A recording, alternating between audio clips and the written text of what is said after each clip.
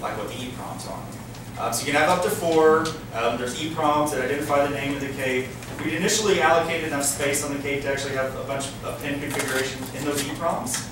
Um, instead, we've done things more the Linuxy way, which is you put the software in the distro, um, and all you do is put an identifier on the cape, so it just has a name.